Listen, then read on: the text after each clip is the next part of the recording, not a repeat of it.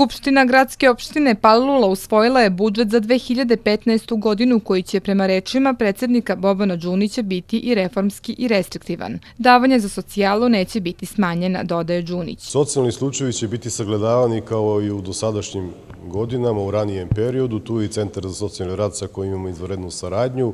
Što se tiče nas iz gradske opštine Palilula, kad god budemo mogli da izdvojimo sredstva, nadam se da ćemo izdvojiti i ove naredne godine kao i u 2014. godine, mi ćemo to raditi i činiti. Đunić kaže da opštinski budžeti ne bi trebalo da budu linearno planirani.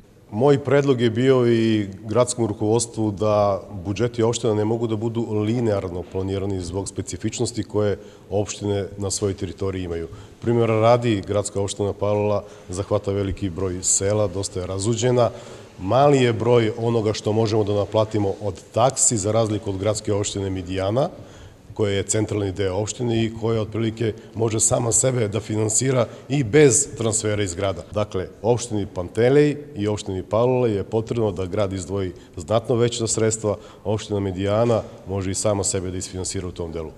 Gradska opština Palula će naredne godine imati na raspolaganju 155 miliona i 700 hiljada dinara, što je za oko 14 miliona manje nego prošle godine.